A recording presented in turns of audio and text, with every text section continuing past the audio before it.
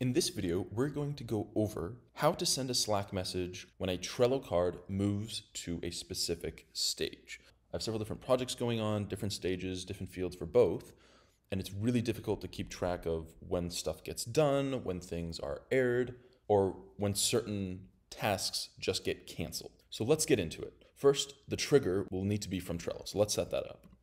We can go to Trello, and the option we want is card moved to list. So let's just type in list, card move to list. Beautiful. And this is an instance. So this will happen as soon as that card moves. Great. Now we need to connect our account. Wonderful. The board that I want is trading. The list that I want is potential strategies. This specific Trello board is used to create Forex and stock trading strategies, and I need to get notified whenever a new idea comes through the pipeline because then it's in my bucket to do a whole bunch of research and figure out if this is something worth pursuing. And we're going to leave the card blank because we don't want to pay attention to any specific card.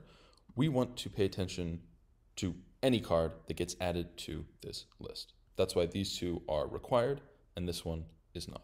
We test it out. Cool, now we have some test data to work with.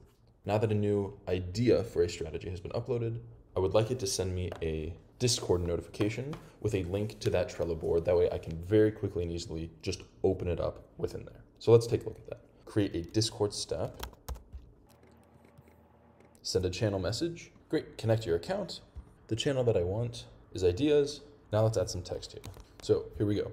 So a new trading idea was just added to the Trello, to the trading Trello board called, and we'll pass in that variable card name. And here's a link to the card. That way we can click on the link take a look. Cool. Bot name, we can say new idea bot. And the bot icon, icon can just be robot face. Awesome. Let's test this out. Ah, and it gave us an error. Does not support that notation. Okay. Must be the full URL of an image. All right, well, let's go get an image then. Okay, I have a URL. Let's paste that in and see if this works. Great. So let's take a look and see what this looks like. So we're in the ideas channel, effectively. Um, and here we go. Yeah, and that's our image, robot. New idea, a new trading idea was just added to the Trello called blah, blah, blah, blah, blah.